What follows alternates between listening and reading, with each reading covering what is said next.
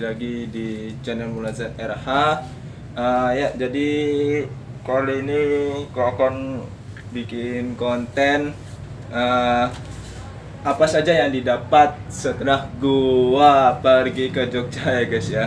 Uh, jadi sebelum vlog ini ditampil, vlog ditampilkan ya guys ya karena gua belum ada waktu juga untuk untuk uh, memilih video uh, mana yang harus di up mana yang harus ditayangkan.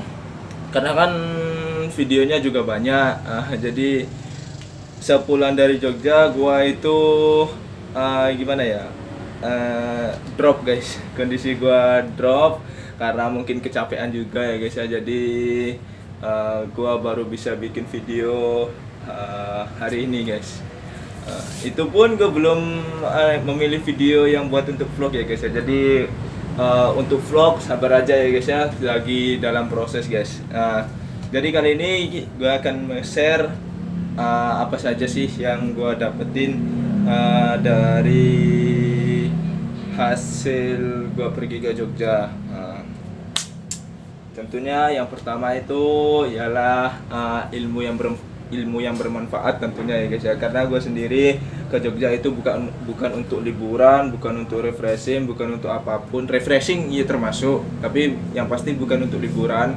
Karena gue di sana itu menimba ilmu ya guys ya. Atau uh, ada suatu pekerjaan.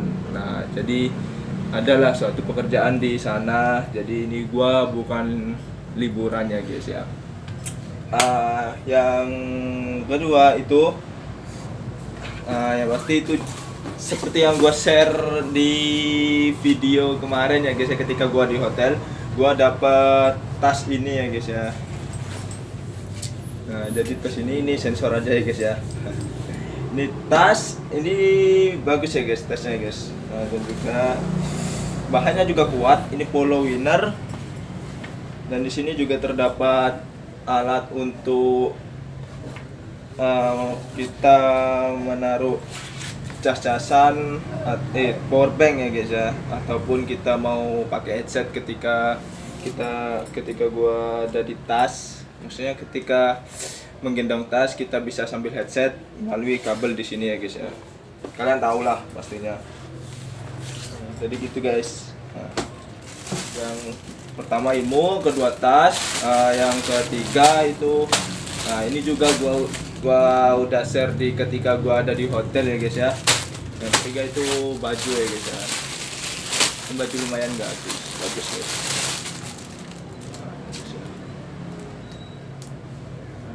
Bagus guys. Warnanya gue suka.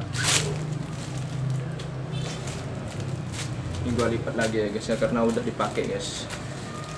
Cuman gua kan orangnya kan nggak uh, suka yang kotor. Jadi kalau gua habis pakai kalau misalnya dalam perjalanan gua pasti simpan itu plastiknya ya guys ya. Nah, jadi selain lebih memudahkan kita untuk menaruh di tas ini juga menjaga kebersihan juga guys. Kalau kayak gini kan bersih. Nah, uh, apa lagi ya guys ya? Tapi nggak ada lagi ya guys. Cuman ini guys. Nah ini ini gua dapetin ketika gua ke Ponggok ya guys ya ini pemaksaan guys sebenarnya jadi ini bisnisnya juga mantap nah, jadi ketika uh, itu turun ketika rombongan turun dari bis nah, itu disuruh diem ya guys ya disuruh Nah, karena ada fotografer dari sana itu yang untuk memfoto guys. Jadi per orang itu difoto. Per orang difoto cekrek cekrek cekrek. Nah, alhasil ketika keluar dari ruangan, keluar dari ruangan, nah itu tahu-tahu ngasih foto ini guys dan disuruh bayar. uh, adalah uh, harganya itu menyesuaikan. Jadi pinter-pinter kalian menawar aja ya guys ya. Jadi ini ada ketika uh, ada di Umbul Ponggok ya guys ya. Wisata Umbul Ponggok. Kalian bisa searching sendiri Umbul Ponggok di mana itu nah itu nanti bakalan ada ya guys. Jadi Umbul Ponggok itu tempat wisata ah, semacam perairan ya guys ya kayak kolam renang. Cuman di situ bis kalian bisa foto di dalam air uh, pakai sepeda ya guys ya. Baik itu sepeda ontel sepeda nmax itu ada di situ guys. Kalian searching aja di situ uh, wisata Umbul Ponggo. Nah, nanti bakalan ada ya guys. Wisatanya mantep guys. Bagus. Nah, jadi ini hasil fotonya guys ya. Oke, foto selain foto apalagi ya guys ya. Sebenarnya nggak ada yang perlu di sharing lagi ya guys ya. Cuman karena gua daripada nggak ada video ya kan uh, sembari kalian menunggu vlog dari gua. Nah, sama yang selanjutnya itu ah ini guys. Uh, ini. Ini gua di uh, beli baju juga di Jogja T-shirt. Nah ya guys. Oh sebelum ini guys. Ya itu. Oh iya sih sudah sih Oh iya benar. Nah, ini gua beli di Malioboro, bukan yang ini ya. Di Jogja T-shirt ada lagi. Ini gua dapetin di uh, Malioboro, gua beli di Malioboro. Cuman ini khusus untuk adik gua ya guys ya karena uh, ini gua belikan masa gua doang ya guys ya. Uh, jadi gua putusin ini untuk adik gua semua guys jadi yang pertama itu baju Yogyakarta itu ya yang pasti kalau gua yang milih tentunya nggak bakal mengecewakan ya guys ya nah, guys. Baju yang pertama ini buat adik, uh, buat adik gua semua guys. Tiga tiganya loh. Cuman kalau misalnya Barcelona ini kayaknya buat gua ya guys ya. Karena kalau Barcelona ya tau lah uh, gua penggemar Barcelona ya guys ya. Nah ini guys uh, Yogyakarta ini buat adik gua. Itu dilip jangan lupa dilipat lagi ya guys ya. Oke. Gua belikan tiga untuk adik gua. Nah nanti udah gampang ini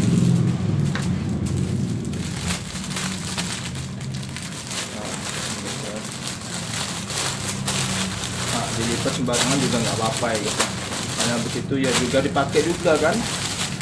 Uh, yang kedua ya ini guys. Ini sebenarnya gue suka guys motif ini. Cuman karena gue udah ada lagi sebenarnya ini mau untuk gue karena berhubung gue udah beli lagi di Jogja T-shirt. Nah, jadinya ini gue gua gua kasih ke adik gue ya guys ya. Tuh. Kurang apa coba enaknya jadi adik gitu guys. Nggak nggak nggak mesti jadi adik sih. Kalau kita harus emang harus ingat sama keluarga ya guys ya. Oke nah yang ketiga ya tau lah FC Barcelona. Artinya nggak usah dibuka ya guys ya. Ya semacam ya Barcelona guys. Gimana sih kalau Barcelona? Nah, Barcelona. Karena gue sendiri penggemar dari Barcelona ya guys ya. Tentunya kalau apa pun itu yang berkaitan dengan Barcelona gue suka guys. Seperti itu. Nah ini untuk baju-baju ya guys ya. Ada juga yang lainnya guys. Apa itu? Kalian tunggu aja Nah, ini buat adik gua tiga baju.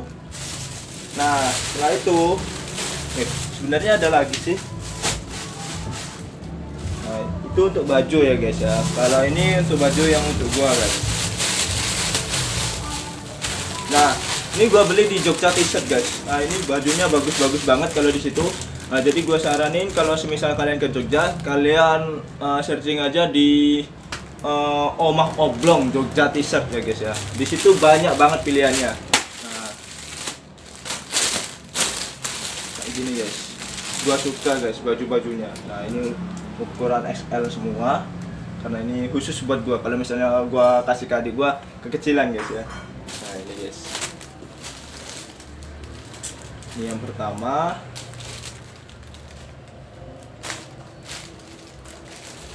oke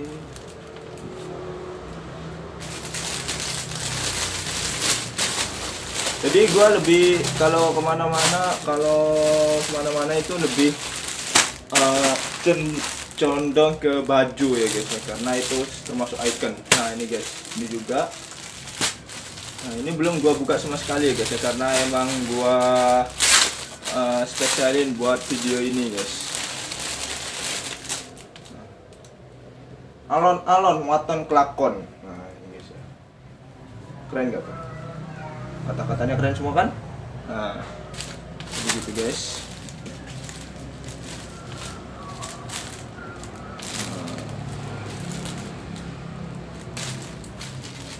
Ini gua lipat sembarangan dulu. Toh nanti uh, di juga ya guys ya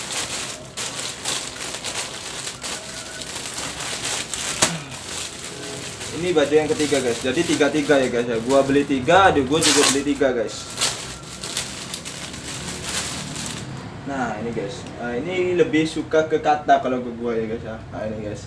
Manunggaling kaula gusti. Nah ini terinspirasi sebenarnya ini terinspirasi dari sahabat gua yang sedang muncak kemarin ya guys ya. Jadi kan ketika gua di Jogja uh, sahabat gua itu teman gua uh, pergi ke puncak Arjuna ya guys ya. Ah, itu mesti sering nyetel lagu yang berjudul Manunggali Kaula Gusti. Ah, jadi kayak gitu guys. Jadi gua keingat jadi gua beli aja ya guys ya. Kata-katanya soalnya bagus guys. Entah itu apa artinya. Uh, ah, gue juga nggak uh, apa loh nggak tahu artinya ya guys ya intinya kalau semisal ada kata-kata bagus gua beli guys. Nah itu untuk outfit ya guys ya. Nah, katakanlah itu untuk outfit. Jadi buat baju-baju semua. Nah kalau semisal makanan gua itu belinya nah kebetulan rombongan itu beli uh, mampir. Bukan bukan beli ya guys uh, mampir di salah satu uh, tempat yang jual bakpia patok 25 uh, kalian tahu kan ya? Kalau kalau di Jogja uh, itu yang terkenal yaitu adalah bakpia. Uh, yang paling terkenal lagi namanya itu adalah bakpia patok 25 nah itu entah itu apa namanya eh, entah itu kenapa kok bisa dinam yang paling terkenal itu bakpia patok 25 ya intinya uh, rombongan berhenti di situ ya sudah gua beli uh, satu dus ini guys ya. Satu dus ini ini enggak seperti yang kalian bayangkan. Satu dus itu uh, biasanya kelihatan banyak ya guys ya. Cuman gua hanya beli sebagian ya guys ya. Nah itu ini satu dus isi 5 ya guys ya. Jadi gua beli gua beli 6 ya guys ya. Jadi buat muat ya guys satu dus ini bisa isi 5 sampai 10 kayaknya guys. Cuman gua beli 6 kalau misal kalian beli di bawah 5 mungkin kalian itu bakalan ditempatin pakai kresek. Cuman karena gua ingin uh, karena gua keinginannya ingin membeli 5 bungkus ya guys ya, ya sudah biar gampang juga bawanya ya guys ya. Oke. Okay. nah ini biar kalian tahu ya guys ya kalau bakpia patoknya itu seperti ini guys. Nah ini yang rasa bakpia kering. Ini ada rasa coklat. Kalau yang ini itu bakpia basah. Nah ini yang paling enak itu yang paling terkenal. Eh, bukan terkenal sih. Yang paling enak menurut orang-orang ya guys ya. Itu bakpia basah. Nah ini bakpia basah ketahanannya cuman hanya sampai 4 sampai 5 hari doang guys. Nah ini guys kayak gini tapi kalau semisal itu bakpia kering itu bisa sampai 8 sampai 10 hari. Nah, jadi berasa. Kalau yang bakpia basah itu rasanya original, jadi kacang hijau. Dan satu lagi guys, nah ini gua kalau misalnya buat makanan, gua beli uh, yangko ya guys. Ini pesanan dari orang tua. jadi orang tua pingin beli yangko sama skuteng ya guys. Skutengnya cuman sayangnya gak ada guys. Gua cari skuteng sama yangko ternyata ketemunya cuma yangko ini gua beli di sekitar Malioboro. Itu banyak sekali yang jual ya guys ya.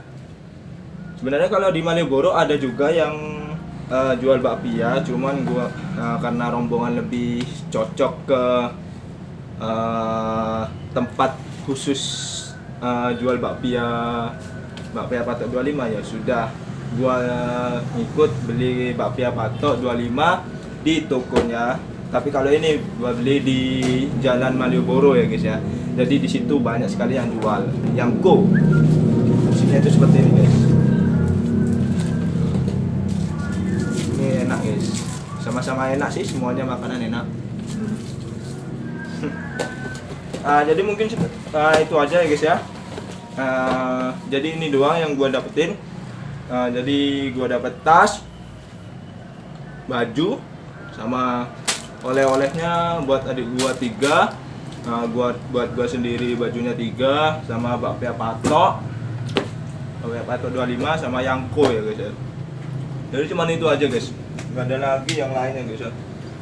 Yang penting karena gue sendiri di sana bukan liburan guys. Kalau semisal gue liburan mungkin gue bakalan uh, uh, apa tuh? Bersenang-senang di sana lebih lama ya guys ya. Itu pun foto-fotonya pun juga sedikit guys karena gue lebih uh, tingkat ilmunya daripada foto ya guys karena gue sendiri kan uh, udah lumayan sering juga ke Jogja apalagi saudara gue kan ada di sana juga. Nah, jadi kalau semisal Jogja uh, ya udah kayak gitu-gitu aja guys ya. Cuman yang berkembang itu dari wisatanya guys. Wisatanya di sana berkembangnya pesat. Nah ya sudah. Akui jempol kalau semisal makanan oleh-oleh dan segala macam itu gua rasa uh, tetap gitu itu aja guys ya. Oke. Okay. uh, oke okay guys. Jadi mungkin segitu aja videonya. Uh, apa gua ada ya guys ya? Ah, gua bikin thumbnail aja guys ya. Bikin thumbnail guys. Jogja nah, gini guys nah jadi kayak gini aja ya guys ya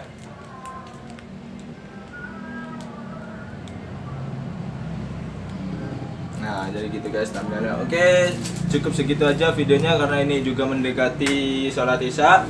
Nah, jadi tunggu aja video vlog dari gue ya guys ya. Jangan lupa di like, comment, dan subscribe tentunya ya guys ya. Oke guys, bye bye. Sampai jumpa di video vlog.